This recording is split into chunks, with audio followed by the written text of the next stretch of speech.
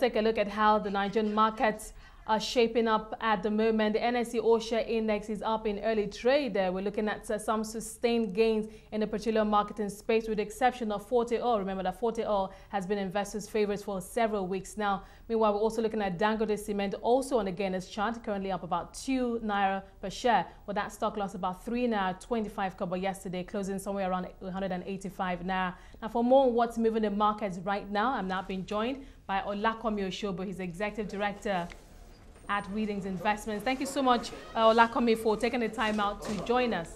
It is my pleasure. Please. Well, I suppose it's a big day today for the market. We're looking at the listing of an ICT company, Computer Warehouse Group. Uh, what's the sentiment right now, and how is the market embracing this new listing?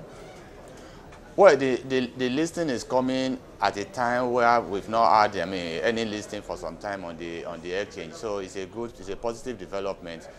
Uh, but also the, the, the one thing we cannot say for sure about this company is that the, uh, the, whether it's priced or whether it's well priced or not, because it is, a, it is not a public offer. It is a listing by introduction.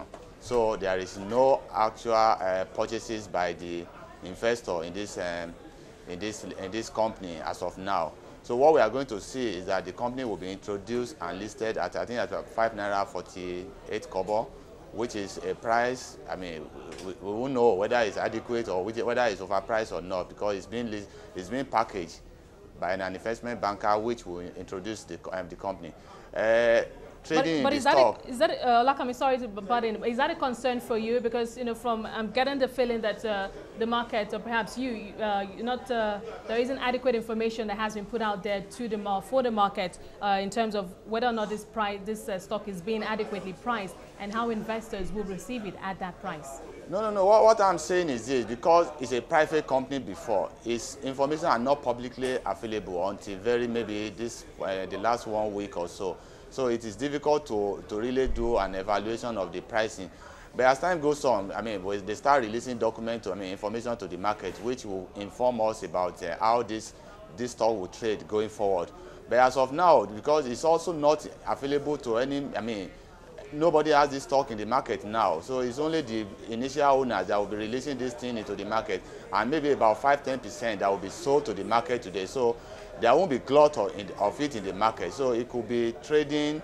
There won't be much trading or much activity on it until we start having information on the on the on his activities and the, his uh, financials. That's what I'm trying to explain. Okay, do you think but this is going to be? Do you think this is going to uh, have any positive impact on the ICT sector at the NSE? Looking at the other stocks that are there, remember when some of them did list a few years ago, uh, there was a lot of you know a lot of excitement, but now it looks like uh, a lot of value has been lost coming from. Yeah, maybe if, you, if you look at if you look if you look at uh, Chams and PSC, which was listed about five years ago, I mean people bought those shares at about three naira then but now you cannot even sell at 50 kobo. So those are the reasons why there, well, there will be activity, there will be excitement because no listing has been done recently on the exchange. So any loose listings will generate some excitement uh, no matter what. But the fact I'm, what I'm trying to say is that the other company listed on ICT has not really paid investor in the past. I mean, so people will be careful about how they go about rushing into this one and looking at the price too.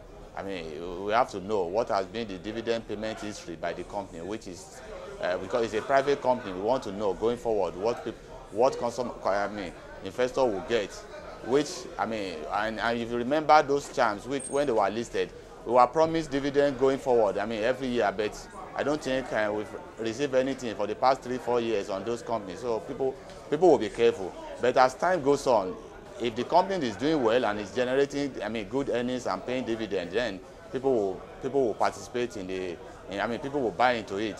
But for now, I'm sure a lot of people will be very uh, careful in rushing into it. Okay, while we keep our fingers crossed on that, uh, obviously this is the first uh, listing we're seeing this year, and I know that the NSE does have a, a five-year projection where it's targeting 500 companies to be listed on the Nigerian Stock Exchange. That, Do you think that's, that's too that, ambitious?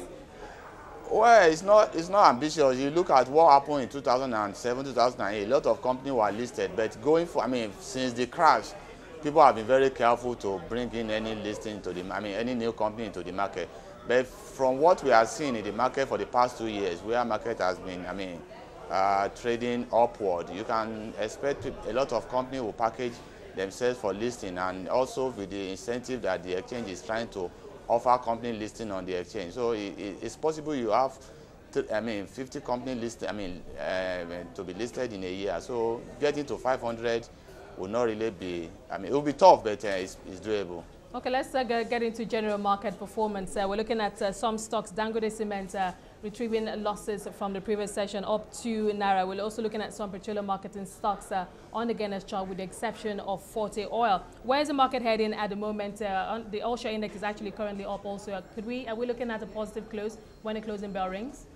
Well, I expect we have positive close today. I mean, with Dan, Dan Cement recovering part of what it lost yesterday. I mean, I think it, it lost about three naira, something like, like that yesterday. So it's at current, I mean, to, uh, at this moment, it's up to naira. So it's regaining those uh, losses.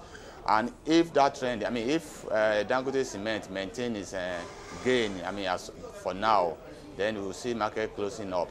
And also you see the marketing, I mean, oil marketing going, doing very well with the exception of uh, Forte Oil, like you say. And Forte Oil, you can understand why possibly it's not, I mean, going up at this moment because it's been, I'm sure it's done like 200% in the last um, one month or so. So, I mean, some breeders, some profit taking. But Oando has not really participated in the in the rally before, so it started yesterday and it's continued today. It's currently up 10% and on a very strong bid. So you expect those ones to maintain their, I mean, the gain throughout right, thank, today. Thank you so much, Olakomi, for your thoughts uh, looking at going through the markets with us at this time.